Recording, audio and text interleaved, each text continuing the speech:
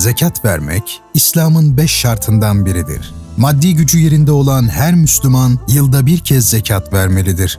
Islamic Relief, Orta Doğu'da ve dünyanın birçok yerinde uzman ekipleriyle zekatınızı çatışmalardan, felaketlerden zarar görmüş mağdurların su, beslenme, ilaç ve barınma gibi en temel ihtiyaçlarını gidermek için değerlendiriyor.